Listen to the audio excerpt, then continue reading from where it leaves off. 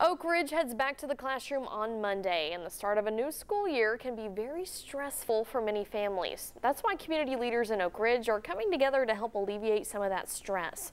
10 News reporter Fernando Garcia Franceschini shares more on how they're hoping to bring some families some relief.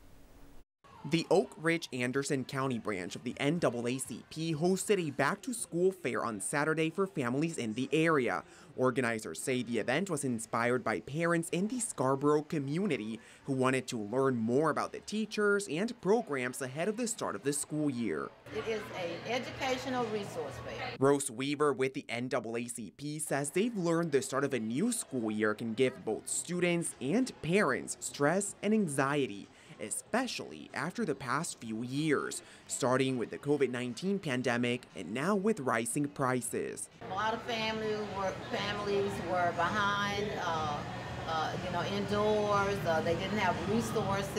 And so what we're trying to do is, if, if a child needs tutoring, they know ahead of time now where to go. If the child needs some uh, assistance, in terms of the family, financial assistance, the utility is cut off, you don't have food.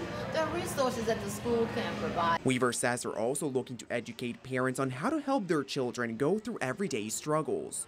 Weaver says at the end of the day, it's about building community as well and bringing parents together to help make school easier for their kids. We're hoping from this event that we can start a parent advocacy group where parents can talk about things that they're facing month to month and also uh, serve as a vehicle for them to communicate with the Oak Ridge school system. In Oak Ridge, I'm Fernando Garcia Franceschini. Parents who were not able to make it to today's event but still want to be connected to those resources, you are encouraged to reach out to the Oak Ridge Anderson County NAACP.